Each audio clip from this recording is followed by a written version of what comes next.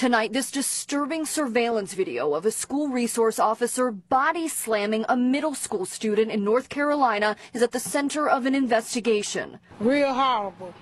It's terrible.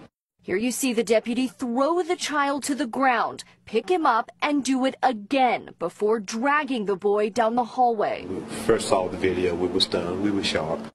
I don't expect my deputy, any deputy, law enforcement in North Carolina to carry out their duties in that way. The sheriff says the deputy still hasn't explained what prompted the violence and is now on paid leave while state authorities investigate. The Vance School District telling ABC News, we are deeply concerned by the actions that took place. School and district officials are working closely and in full cooperation with the local authorities. And this is just a stunning kind of incident. Um, I don't see any justification uh, at this point for uh, that officer's behavior and actions.